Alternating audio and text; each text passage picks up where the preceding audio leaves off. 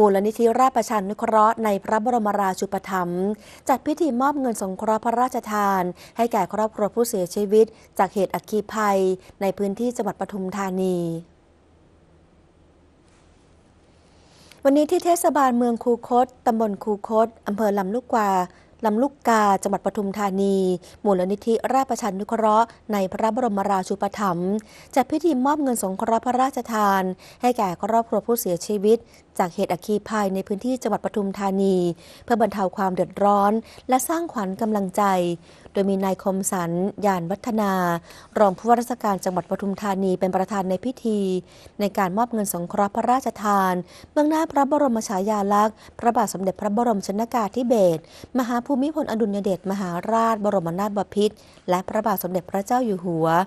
ให้แก่นายนเรศ อัศวะเจริญกุล บิดาของเด็กหญิงจิรัตยา อัศวะเจริญกุล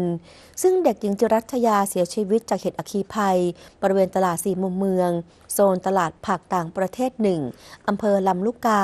จังหวัดปทุมธานีเมื่อวันที่ 12 มีนาคม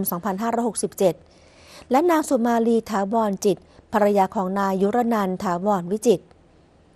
ซึ่งนายยรนันเสียชีวิตในเวลาต่อมาเมื่อวันที่ 15 มีนาคม 2567 จากเหตุการณ์เดียวกัน การได้รับเงินสงเคราะห์พระราชทานทั้งสองครอบครัวต่างทราบซึ้ง และสำนึกในพระมหากรุณาธิคุณเป็นล้นพ้น